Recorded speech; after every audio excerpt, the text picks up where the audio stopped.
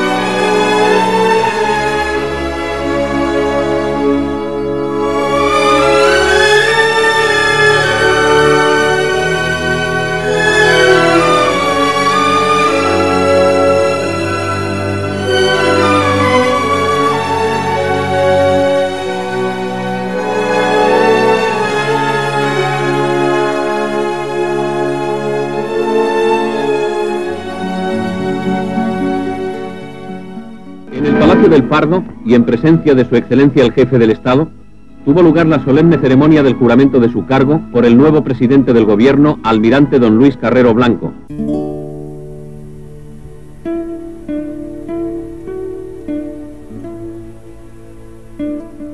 En un sentimiento de esperanza vivido o con optimismo por la inmensa mayoría de los andaluces y de los españoles en el mes de junio de este año, por cuanto se llevaba ya, después de una amplia demora, por cuanto la separación entre la jefatura del Estado y la jefatura de gobierno estaba ya establecida por la ley orgánica del Estado, votada en referéndum por una aplastante mayoría de nuestros compatriotas en diciembre de 1966, pero fue necesario más de un lustro para arrancar de Franco esta concesión de que, como todo el mundo deseaba, incluso sus partidarios más ardientes, que se estableciera un distingo entre el gobierno y la jefatura del Estado.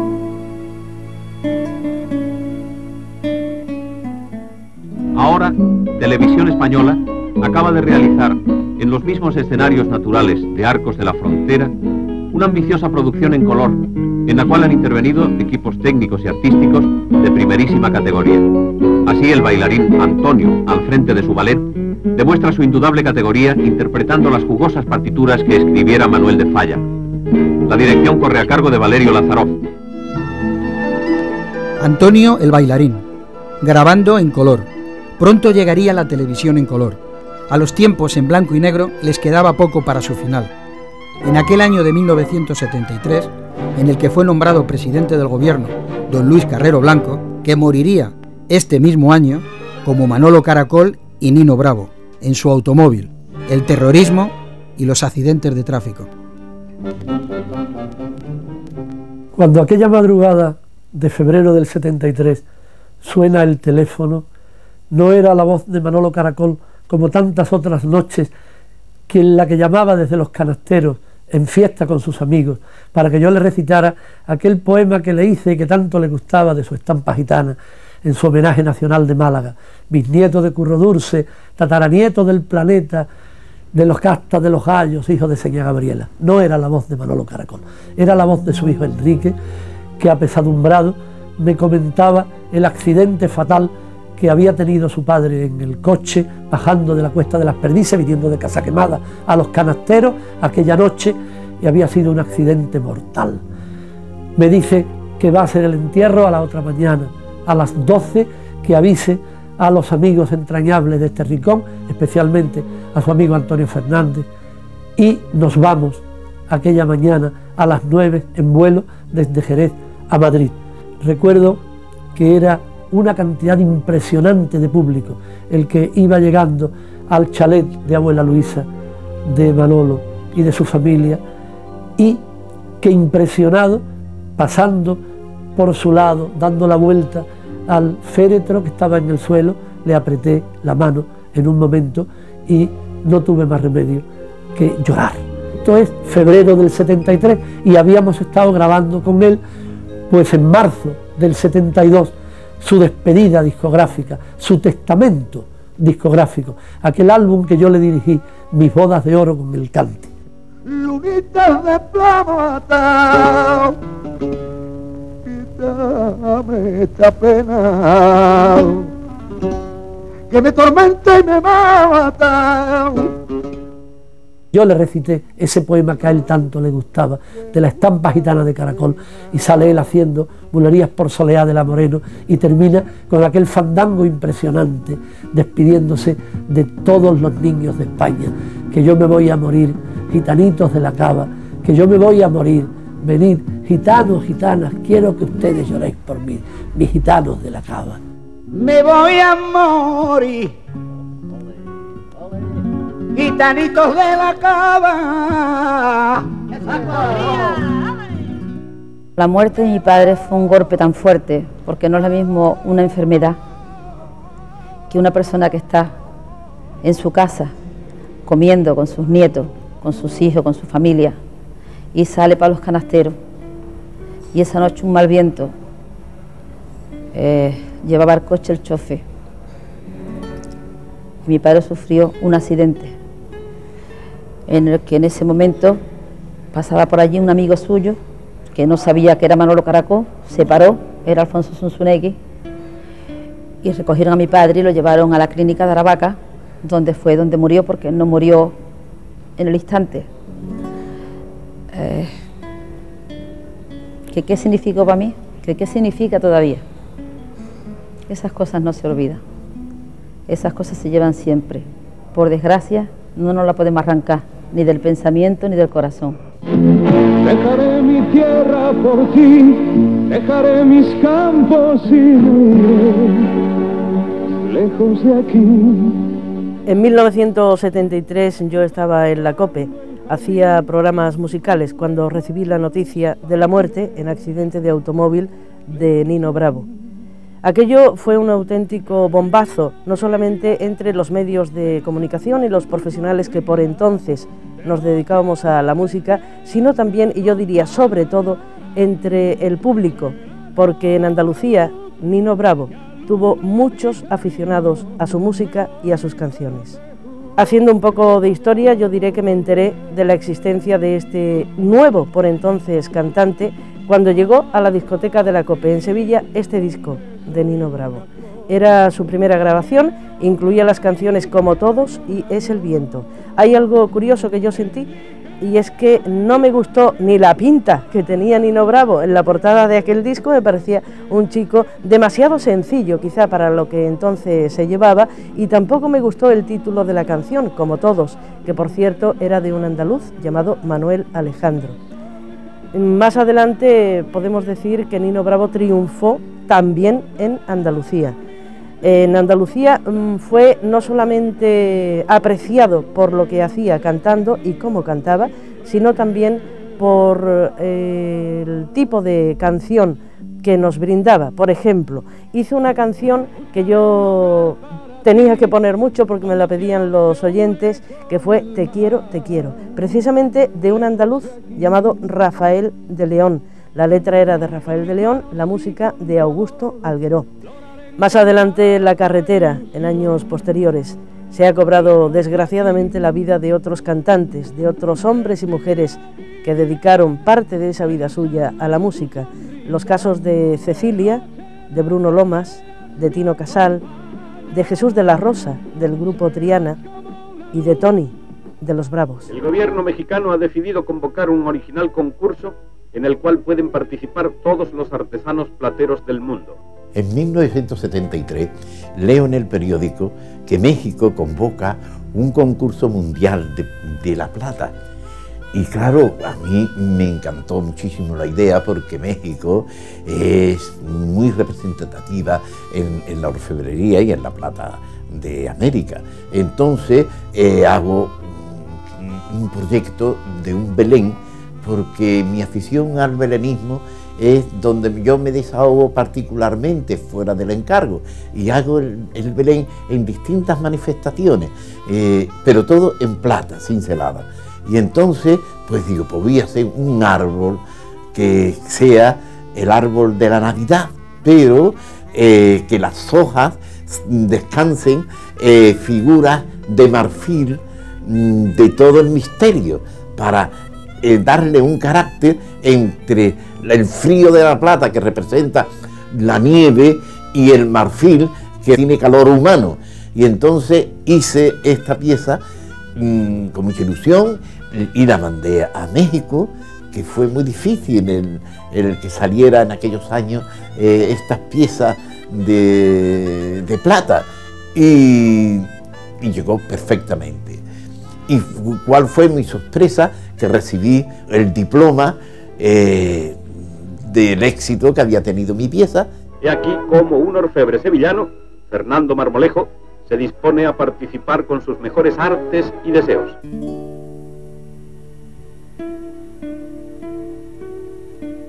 El 1001 tuvo un final, o mejor dicho, un principio, de los tres días que duró el juicio oral, un principio tremendo, porque cuando fue a empezar el juicio en el Palacio de las Salesas de Madrid, pues nos enteramos, ya estábamos ya los abogados con nuestras togas puestas y todos los procesados en los calabozos de, abajo del Palacio de Justicia, nos enteramos que habían matado a Carrero Aquello estaba totalmente lleno de gente porque había una gran expectación, había mucha gente que quería presenciar, el juicio, periodistas extranjeros, abogados extranjeros, eh, había mm, policías infiltrados, guerrilleros de Cristo Rey, en fin, allí había un magnum bastante respetable.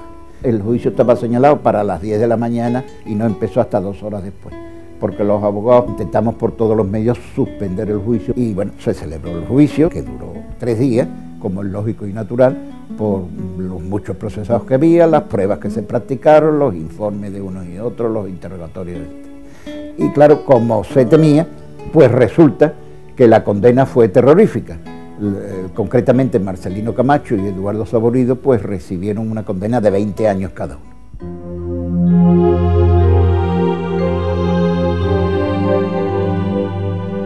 Mi madre cuando hicieron presidente a mi padre de gobierno, mm, pues hablaba mucho conmigo, mi madre, y entonces me dijo por teléfono llorando mm, que estaba horrorizada y yo dije, pero mamá, pero ¿por qué si papá lleva en el gobierno tantos años y al fin y al cabo, pues, pues no sé, es, es lo mismo.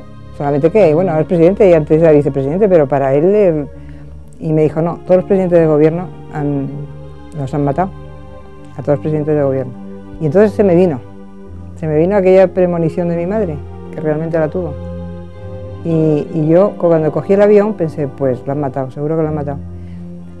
Y lo que sí pensé es que miré a España cuando sube el avión, que ves los pedacitos de tierra tan cuadriculaditos y de esos, que se ve la tierra tan bonita del avión y pensé, ¿quién te va a querer? España, ¿a ti quién te va a querer como, como te quería? Total que cuando llegué a, Madrid, pues, pues un señor, que yo no puedo poner en pie quién es, se acercó al avión y me dio la mano y yo no sabía si en el fondo, en el fondo siempre pensaba, no, no, pues estará herido, pues eh, el suero. Yo pensaba, y ya estaba mi marido y, y dije, lo han matado, ¿no? Y me dijo que sí. Y entonces yo pensé, digo, pues ahora hay que rezar el Padre Nuestro, se quiera o no, porque nos habían enseñado de siempre que había que perdonar y que en el Padre Nuestro pues te hacen perdonar al enemigo, ¿no?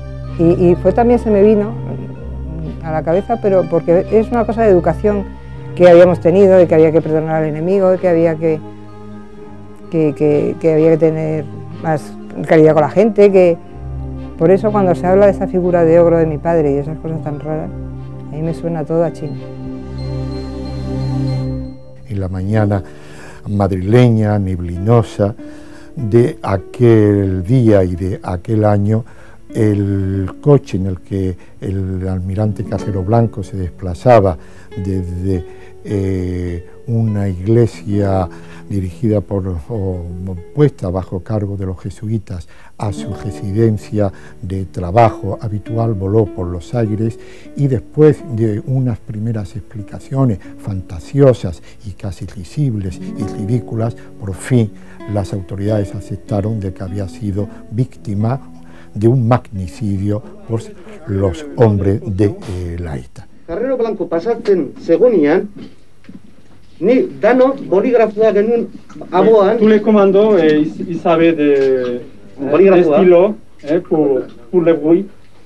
hein. onda espansiba, espansiba engatikan. Hubo un funeral en San Francisco el Grande al que asistió Franco y el príncipe entonces, hoy el rey, y todo el gobierno. Y, y entonces Franco, al dar el pésame a mi madre, mm, rompió a llorar. Claro, aqu- aquella, esa foto creo que recorrió luego el mundo, verdadera, de mi madre besando, porque era, era toda la vida de mi madre se había ido. O sea, mi padre había estado toda la vida al lado de Franco, en realidad, ¿no? Las investigaciones realizadas demuestran que el almirante Carrero Blanco, presidente del gobierno, ha sido asesinado.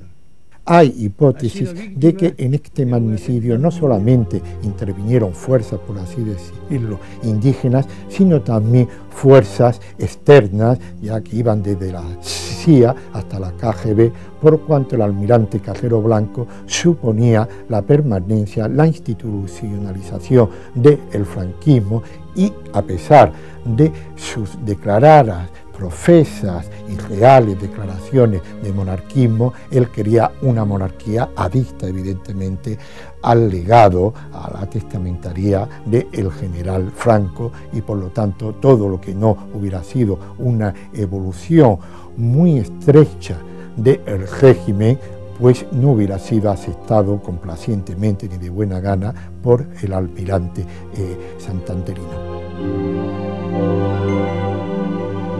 Es muy curioso que verdaderamente mm, son cosas que pasan en España, por eso España es diferente, ¿no? Siempre se ha dicho, no sé si en plan de broma, que si España es diferente. Hombre, el, el responsable cuando dicen es que era muy confiado, es que, es que no era el papel de mi padre ponerse protección. Mi padre tenía su papel y luego el ministro de Gobernación tenía el suyo, que era proteger a mi padre. El director general de seguridad tendría el suyo, que era el saber lo que pasaba. Pues no es que no pasara nada. El general Blanco, que creo que era entonces el director general de seguridad, a los pocos meses le dieron una condecoración de méritos de algo. Y al, y al que era ministro de Gobernación, pues fue presidente del gobierno. Verdaderamente es una cosa francamente curiosa, ¿no? O sea que España es diferente, eso es clarísimo. En, en el resto del mundo no pasan estas cosas. En el Palacio del Pardo se celebró la ceremonia de la jura de su cargo por el nuevo presidente del gobierno, don Carlos Arias Navarro, quien a su llegada cumplimentó a la esposa del caudillo, doña Carmen Polo de Franco.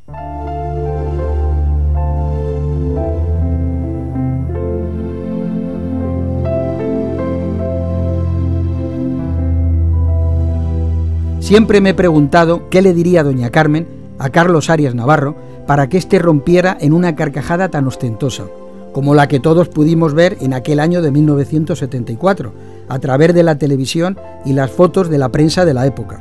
Época en la que ya levantaban pasiones el derby Sevilla-Betis. Un bético, Carmelo Jiménez, y un sevillista, Juan Ávila, nos lo recuerdan.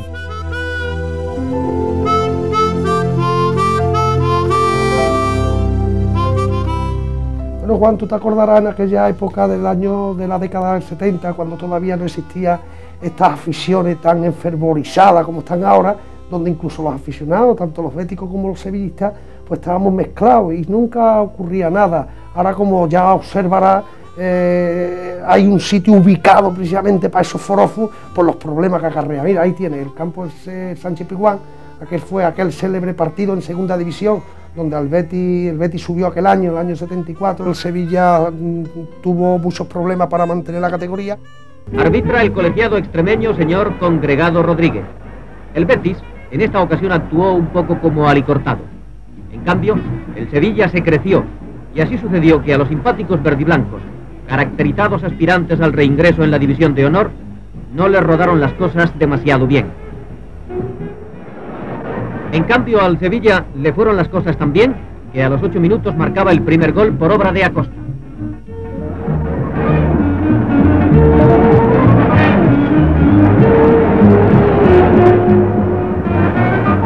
Presionó, pero a los 20 minutos el lanzamiento de un penalti supuso el 2 a 0 para el Sevilla. Por fin llegó el gol del Betis. Los blanquiverdes tan solo marcaron el tanto que van a ver, pero no cabe duda de que fue un señor gol. Su autor, Rogelio.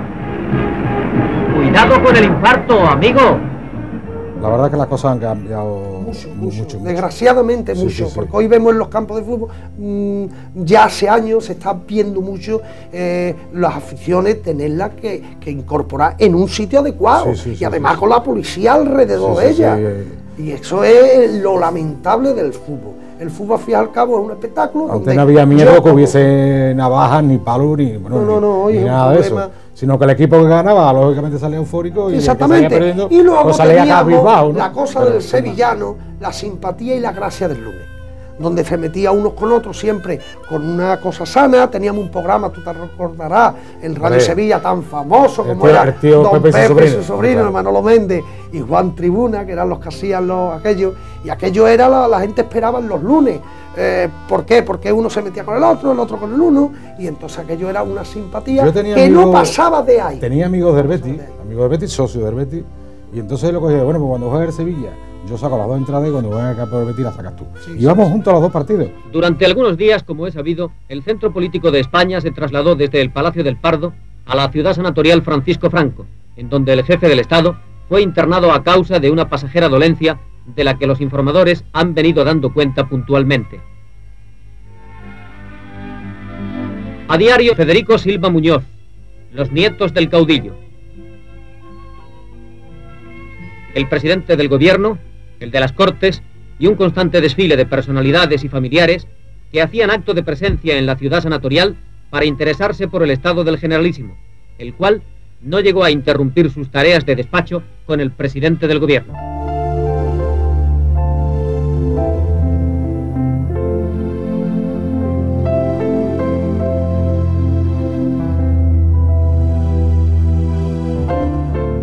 Franco enfermo. Así comenzó la noticia. A partir de ahí, los hechos se fueron produciendo rápidamente, hasta el desenlace final que se produciría al año siguiente. Pero hasta entonces, en un principio se nos dijo que era una gripe. Después fue ingresado en la ciudad sanitaria Francisco Franco por una flebitis. El entonces príncipe de España llegó a asumir la jefatura del Estado, aunque solo por un tiempo. Poco a poco y sin darnos cuenta, nos fuimos preparando para el cambio el príncipe llegó a presidir por primera vez un consejo de ministros en el Pazo de Meirás. En Francia moría Pompidou, Giscard ganaba las elecciones y las perdía Mitterrand, mientras que en Portugal se producía una revolución que todos recordamos como la revolución de los claveles. Aquí se hablaba de todo, incluso de don Juan Carlos, aunque la verdad es que sabíamos muy poco de él. Ya tenemos la imagen en este año de un, de un dictador que ya no ejerce la dictadura, el podador del árbol de la cultura, por decirlo así. El podador del árbol de la cultura está cesando en su labor de tijeretazo y se está viendo ya la figura eh, del príncipe, el príncipe eh, como, como la vocación de salida posible de, esa dictadura. Esto por un lado evidentemente tranquiliza a mucha gente y naturalmente los desconfiados que han vivido experiencias anteriores peligrosas pues están con la mosca detrás de la oreja. Pero sí que cala en el pueblo la, la, diferencia que va a venir. Algo va a ser diferente y lo fundamental en ese algo va a ser diferente es que la supresión de las barreras de las fronteras, los acontecimientos que están ocurriendo eh, fuera de nuestro país, los vemos ya como cosas cotidianas. En eh, el flamenco, que es la, la columna vertebral de la cultura tradicional andaluza se hace eco y se hace testigo de este cambio. Y son gente tampoco vinculada al mundo intelectual, como por ejemplo puede ser Agujeta de Jerez, quien empieza a dar testimonio de esta nueva vivencia, de esta nueva esperanza que se superpone al miedo de lo anterior para el pueblo llano y que cristaliza en una versión de una copla sobre el príncipe que retoma de otra versión anterior que había un poco peyorativa sobre el rey Alfonso y que reconvierte de esta manera. Es la primera vez que se empieza a oír en los festivales la primera referencia al príncipe Juan Carlos. De los árboles frutales me gusta el melocotón y de los reyes de España, don Juan Carlos de Borbón. De los árboles frutales me gusta el melocotón.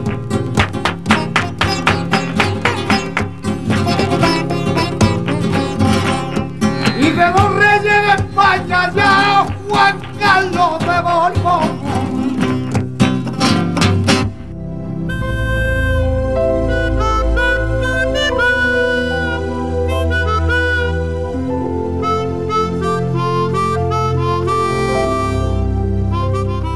En aquel año de 1974, muchos íbamos a Perpiñán, en Francia, para ver películas que aquí todavía no se podían ver. Los que también se fueron a Francia en ese caso a Suresnes, fueron los de la foto de la tortilla, los alumnos de don Manuel Jiménez Fernández, de la Universidad Sevillana. Se celebraba en octubre de ese año el decimotercer Congreso del Partido Socialista Obrero Español. Mientras, aquí en Sevilla, se presentaba en una feria de la época el primer vídeo, un filis de bobina superpuesta que se llamaba el sistema VCR. Yo tuve uno, quizás eso tuvo la culpa. Otro joven de la época pero no de la pandilla de la foto de la tortilla, Javier Arenas nos lo recuerda. Los nuevos equipos de videocassette constan de un aparato lector, aplicable al televisor, y estuches con cintas grabadas que pueden ser pasadas en cualquier momento a gusto del espectador. En aquella época, en aquellos tiempos, también apareció un, nuevo artilugio que de alguna forma se concreta en, en esto que tengo en mis manos. Se trata del primer mecanismo de vídeo, del VCR, y ese acontecimiento del vídeo pues sorprendió también en los entornos familiares, en los entornos de los pueblos de las ciudades de Andalucía, en mi pueblo en Olvera sorprendió mucho, porque estábamos habituados a conocer la grabación de sonido, a conocer el magnetofón, a oír canciones que habíamos grabado de otro cassette que tenía un amigo, muy acostumbrados a reproducir los sonidos y a hacerlos personalmente. Pero costaba mucho entender que podíamos tener una televisión a la carta en el año 74, que aquello que habíamos visto en casa por la televisión en tiempo real, podíamos a volver a deleitarnos viéndolo a través del vídeo y la verdad es que eso también fue un gran acontecimiento que siempre, siempre obligaba a cuidar especialmente los aparatos de, de vídeo. Me recordaban que algunas personas no hablaban de vídeo, sino en ocasiones del vidrio, hasta que nos fuimos acostumbrando, pero se cuidaba mucho el aparato, no toda la familia tenía acceso al aparato y al final el acontecimiento familiar y social se ampliaba con los amigos que venían a contemplar las excelencias del vídeo, al que en principio se atribuyen cualidades mágicas por encima de la ciencia para producir ese gran acontecimiento de repetir las imágenes de televisión con eh, sonido y también por supuesto con la imagen como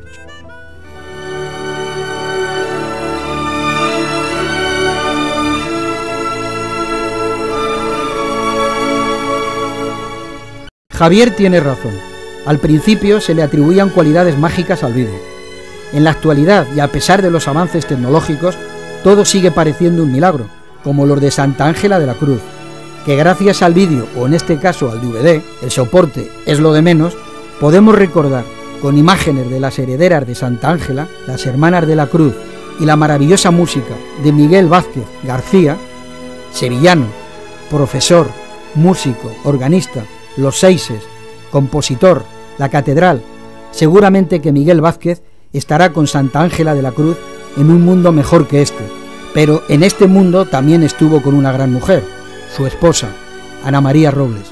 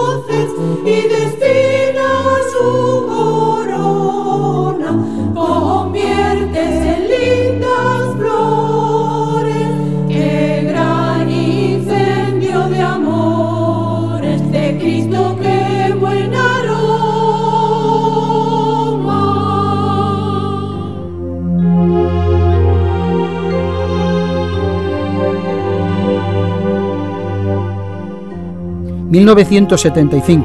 ...un año de éxitos deportivos... ...como los de Ángel Nieto... ...12 más 1... ...y Mariano Aro... ...aquí en Sevilla... ...el año de la Marcha Verde... ...y un año de muertes... ...el general Franco... ...Herrero Tejedor... ...Antonio Bienvenida... ...por una vaquilla... ...y muy cerca de aquí, en Paradas... ...el crimen de los Galindos... En 1975, el 22 de julio, se produce un crimen tremendo, tremebundo. Mueren cinco personas en la hora de la siesta en un cortijo de Sevilla, en un pueblo que se llama Paradas. Nadie sabrá nunca lo que verdaderamente pasó en aquel momento y en aquel lugar. Pero cinco personas, cinco trabajadores, fueron asesinadas brutalmente, con dos armas, las piezas rotas de una empacadora y una escopeta. A partir de aquel momento fueron sospechosos hasta los propios muertos. Uno de ellos, José González, un tractorista que fue sin duda asesinado, fue también culpado de ese crimen. La única justicia que se ha hecho en el crimen de los Galindos ha sido restablecer el honor de José González.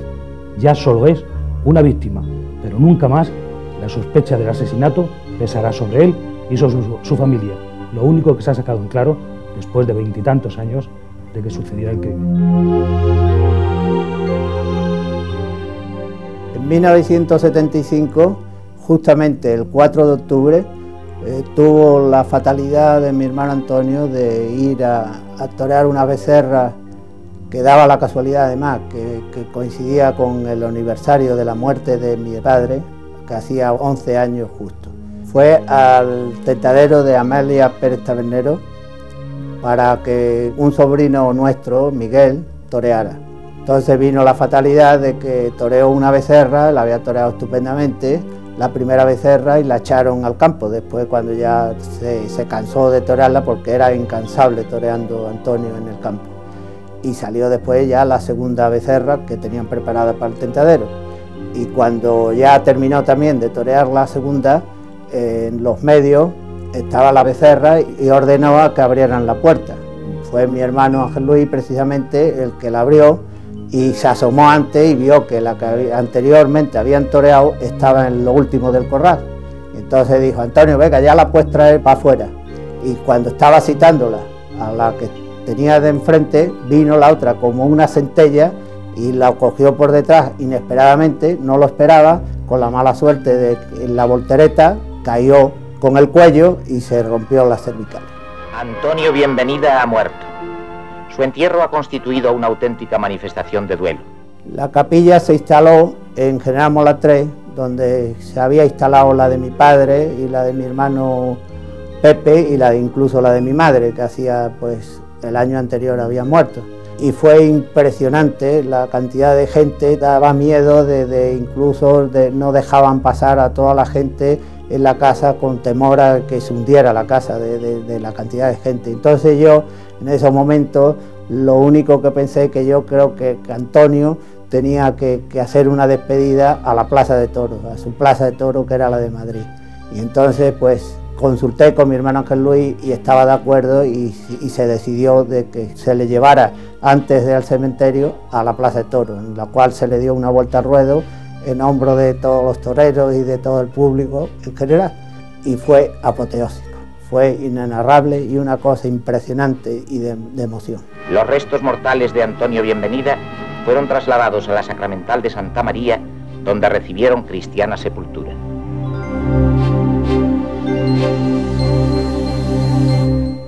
En el puerto de Santa María y en la plaza que ensalzara a Joselito, hacen el paseillo Curro Romero, Rafael de Paula y Francisco Ruiz Miguel, los tres de la tierra de María Santísima.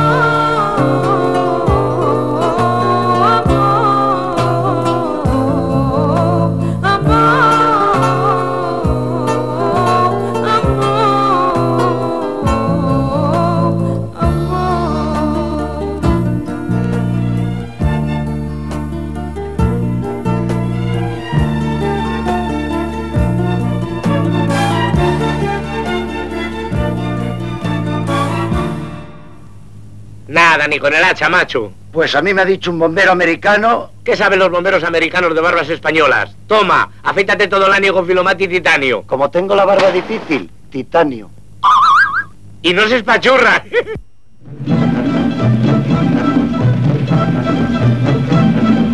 El doctor Félix Rodríguez de la Fuente recogió el premio al programa El hombre y la tierra de manos de Lucía Bosé. Dos programas extranjeros tuvieron también su galardón, consistente en sendas menciones especiales. La serie Heidi, cuyo trofeo lo recogió su creador, el japonés S. Sato, y La Casa de la Pradera, que fue entregado por Laura Valenzuela a su realizador, Mr.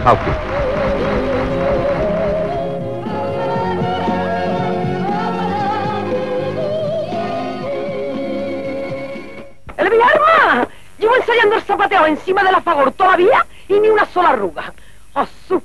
Fíjate, corazón, ni una sola arruga, ni en la chapa, ni en la ropa que me lava. Y es que tiene un arte. Dormidita, dormidita está la gente que nos favoriza su hogar. Si todo está a su favor. Buenas. Buenas. Soy Paragüero y vengo a pedirle 40 duros para... ¿Para qué? ¿Paragüero? No, para participar en el sorteo de la Lotería Nacional que ha de celebrarse en Madrid el día 12 de julio del año en curso. Ah, Picaruelo, de manera que usted también quiere participar. ¿Usted participa? Claro, yo participo. ¿Tú participas? Él participa. ¿Nosotros participamos? Vosotros participáis. 12 de julio, sorteo extraordinario de vacaciones. El sevillano hipódromo de Pineda ha servido como escenario de los 57 campeonatos de España de campo a través, en los que Mariano Aro volvió a demostrar su indiscutible categoría. En 1975 fue un año que ya por quinta vez quedé campeón de España de cross. Me acuerdo que fue en el hipódromo de Sevilla. Y bueno, siempre la lucha estaba entablada entre Arizmendi, Aguilar, eh, Cerrada, todavía ya corría Fernando Cerrada, también era un gran atleta, eh, Carlos Pérez, Álvarez Salgado, en fin, una cantidad de deportistas, Santiago de la Parte, Juan Hidalgo. A mí siempre me ha gustado sobre todo el Campeonato de España de Cross, porque era como más de uno.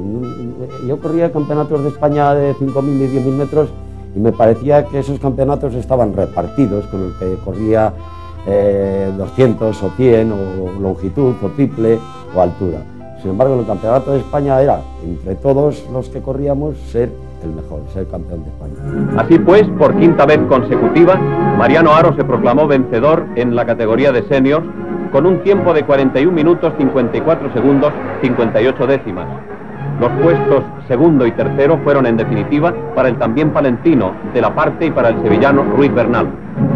Bueno, era en aquella época del 1975, yo creo que no solamente corrían Mariano Aro, corríamos muchos españoles, sobre todo porque eran unos años, pues hay que reconocerlo, de transición, donde cualquier manifestación se dedicaba uno a correr hasta tal extremo que muchas manifestaciones y en recuerdos que, que tengo de aquella época es que decía, mira, hemos corrido hoy tanto como Mariano Aro. Bueno, Mariano Aro estaba en la boca de todo el mundo y sobre todo cuando significaba correr. Y mm, figúrate tú, con los conflictos que había políticos y las carreras delante de los guardias, pues eran verdaderamente unos... Eh, había que estar como en los Sanfermines, con unas buenas zapatillas y dispuesto a todo porque había que salir, como vulgarmente se dice, por pie.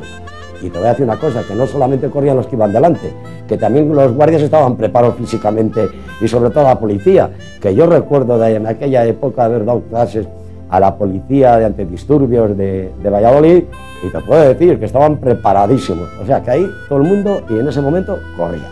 En el madrileño circuito del Jarama se ha celebrado la 25 edición del Gran Premio de España de Motorismo con una serie de pruebas puntuables para el Campeonato del Mundo. En el año 1975, un año cargadísimo de acontecimientos, el príncipe se proclamaba mm, rey de España, don Juan Carlos I, con la muerte de, Franco. También hubo grandes acontecimientos deportivos, en el cual un servidor se proclamaba campeón del mundo por sexta vez. También en ese mismo año, paralelamente, conseguía en el circuito del Jarama otro título de campeón de España en las cilindradas de 125 y 250 un año en el cual la juventud española eh, estaba muy, muy dedicada al deporte en general, deportes que en este país se desconocían, como podía ser el tenis, y bueno, las motos empezaban a renacer, a tenerse en consideración como un, como un deporte más, no como un deporte que en aquella época, años atrás, era bastante desconocido para los españoles. Ángel Nieto no defraudó a sus seguidores y mandó en la carrera desde el primer momento. Cruzó la meta vencedor con un tiempo de 36-16-1 y un promedio superior a los 101 kilómetros por hora. En aquella época, con mi sexto título mundial, con esta moto que ustedes pueden ver aquí, la diferencia de, mi primer título en el año 69, yo muy joven, con 21 años, la técnica empezó a avanzar a unos niveles rapidísimos y consecuentemente del año 69, 70, 71 a la evolución por parte de la fábrica Derby se integró dentro del, contexto del, Mundial a nivel internacional, consiguiendo mis primeros cinco títulos mundiales con una fábrica totalmente española. Lógicamente, en esa época, el jefe del Estado, el general Franco, nosotros cada vez que ganamos uno de esos títulos mundiales, por lo menos los primeros cinco eh, consecutivos, teníamos que ir a hacer la visita oficial al Pardo. Hablando con el general Franco en, en una, de las veces yo estaba prácticamente haciendo la mili y una de las veces que fui a, visitarlo se me quedó mirando y la palabra que me, hizo fue que sí era muy dura la batalla, o sea, muy dura la batalla dentro del campo de la competición. Yo creo que era un hombre que mm, no habría debido de montar en moto, no sé si en su juventud, pero lo que sí está claro es que él ha estado rodeado de motos, ¿no? porque incluso hasta sus nietos eh, iban en moto, en motos de trial, en motos de, campo. ¿no? Por lo tanto, creo que el deporte de la moto a nivel llegar al Pardo llegó a través de la mano de, Ángel Nieto y Dervino.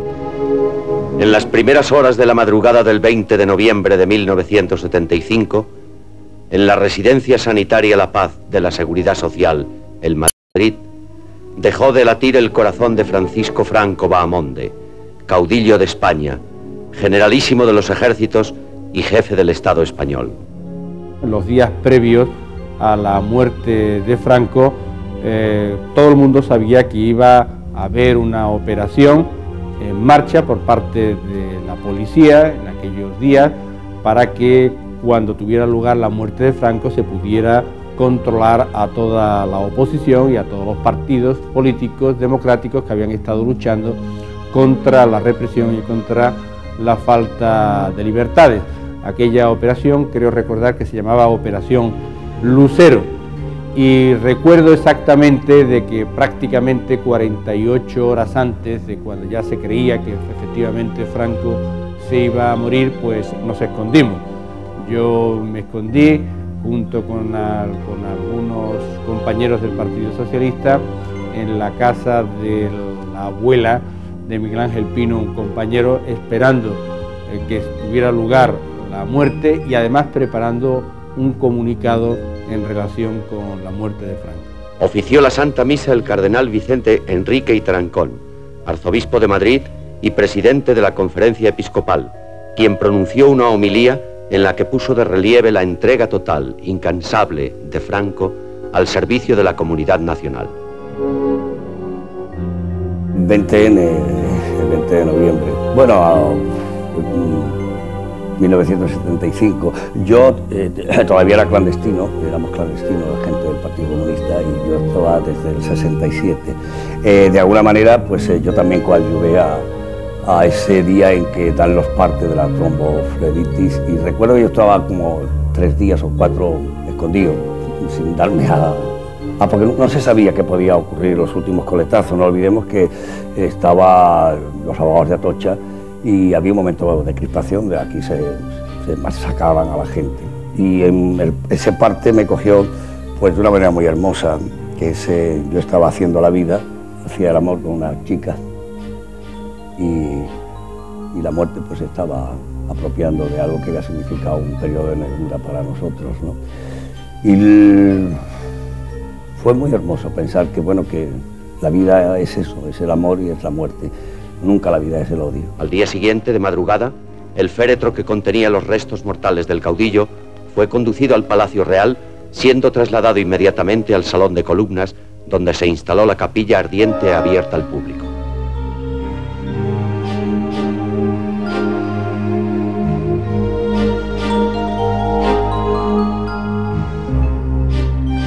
El día de la muerte de Franco estábamos viendo en mi casa en este televisor.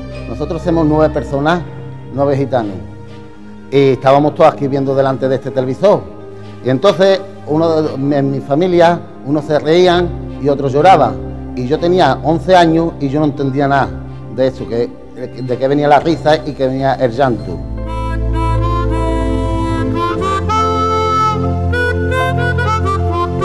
En 1975 yo estaba en ese tiempo en Australia haciendo una temporada de conciertos. Y eh, en mi viaje de Melbourne a Perth se produjo la muerte del general Franco. Y cuando yo llegué a Perth eh, lo primero que fui pues corriendo al hotel a ver la televisión. Y vi eh, una cosa que para mí fue inolvidable muy esperada y muy emocionante. Fue la jura de Su Majestad el Rey, don Juan Carlos I. Eh, fue una cosa inolvidable. O yo estaba pues, como, como buen español llorando a mares. Se abría una incógnita tremenda, porque por supuesto mm, estaba cantado, ¿no? de que por supuesto iba a tomar el mando de, de España y las riendas de España Su Majestad el Rey. Pero siempre hay los que piensan que cómo va a salir esto. Juro por Dios y sobre los santos evangelios cumplir y hacer cumplir las leyes fundamentales del reino y guardar lealtad a los principios que informan el movimiento nacional. Si así lo hiciereis, que Dios os lo premie, y si no, que os lo demande. En nombre de las Cortes Españolas y del Consejo del Reino, manifestamos a la nación española que queda proclamado Rey de España, don Juan Carlos de Borbón y Borbón, que reinará con el nombre de Juan Carlos I. Señores procuradores, señores consejeros, desde la emoción en el recuerdo a Franco, ¡viva el rey! ¡Viva! ¡Viva España!